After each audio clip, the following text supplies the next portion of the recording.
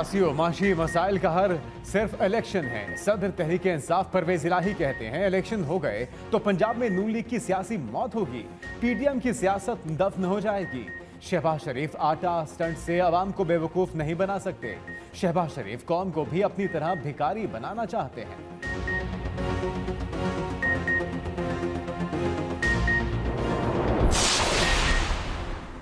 निगरान वज़ीर पंजाब मोहसिन नकवी की तैनाती के खिलाफ शेख रशीद की दरखास्त मुस्तरद। लाहौर हाई कोर्ट के जस्टिस शाहिद करीम ने शेख रशीद की दरखास्त पर महफूज फैसला सुना दिया। दौरान समात अदालत ने रिमार्क्स दिए। इलेक्शन कमीशन के पास निगरान वज़ीर अला की तकर्री के लिए मुकम्मल इख्तियार है। इलेक्शन कमीशन एक आइनी इदारा है और आइन के तहत काम करता है। मुतफ़ा तौर पर निगरान वज़ीर अला की तकर्री की गई।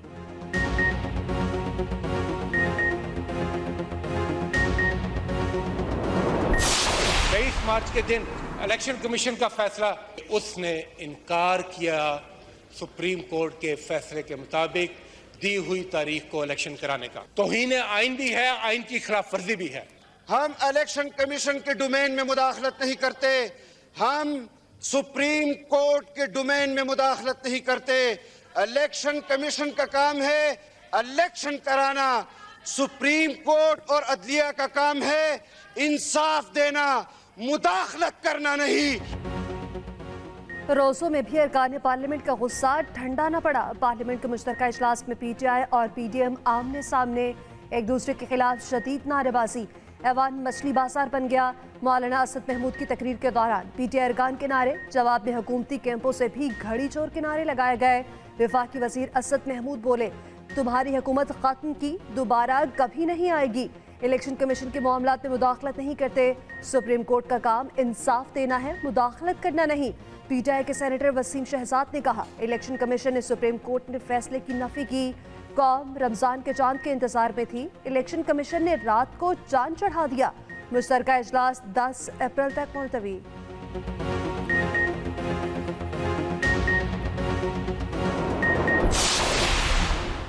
हसान न्याजी पुलिस के चक्करों में चकरा गए। कोयटा से लाहौर, अब कराची जाएँगे। लाहौर की एटीसी में पेशी। अदालत ने दो रोजा रहदारी रिमांड पर कराची पुलिस के हवाले कर दिया। हसान न्याजी के खिलाफ कराची में भी मुकदमा दर्ज। एफआईआर के मुताबिक हसान न्याजी ने मुल्क की दिफाई इदारों को मुखातिब करके धमकाया।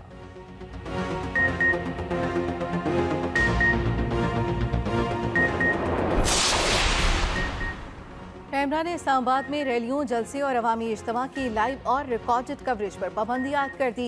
एक दिन के लिए इस्लामाबाद की हदूद में कवरेज पर पाबंदी लगाई गई। पाबंदी कानून नाफिज करने वाले इदारों के खत में तनाजुर में लगाई गई।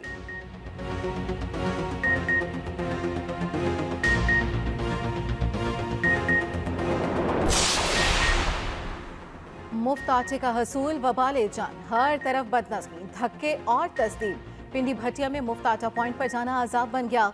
शदीद हक्कम पेल के बायस मुताद खातन की हालत गैर एक का बाजू टूट गया। इंतजामिया का फ्री आटा फराहमी बंद करने का ऐलान। शेखुपुरा के मरकज पर बेनजीर इनकम सपोर्ट प्रोग्राम का सिस्टम ही बैठ गया। हज़ारों शहरी परेशान। पिशावर में मुफ़्त आटे के ट्रक पर अवाम ने धावा बोल दिया। चलते ट्रक से थैला उतार लिया। जिसके हाथ जितने थैले आए, वो ले गया।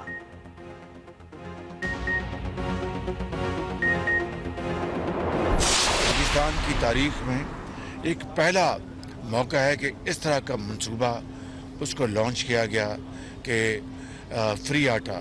माजी में हम, यानी सब्सिडाइज आटा हर दुकान पे देते थे, लेकिन इस दफ़ा ये तय हुआ कि फ्री आटा दिया जाए।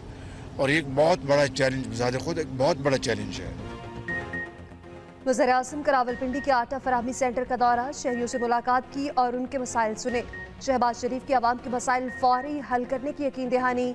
शहरीों को बार बार तकलीफ़ से बचाने के लिए एक ही बार 30 किलो आटा फराहम करने की हिदायत कहा। मुफ़्त आटे की फराहमी चैलेंज है। तारीख में पहली बार ऐसा किया जा रहा है। दस करोड़ के करीब अफराद मुफ़्त आटा स्कीम से मुस्तफ़ हो रहे हैं।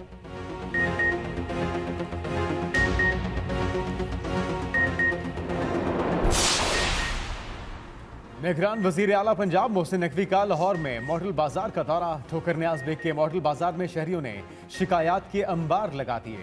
बेनजीर इनकम सपोर्ट प्रोग्राम में रजिस्ट्रेशन ना होने की शिकायत। मोहसिन नकवी का कहना था कि शहरियों को तारीख साज रिलीफ पैकेज दिया जा रहा है।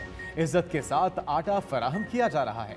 बदनजमी की शिकायत पर फौरी एक्शन लिया जाएगा।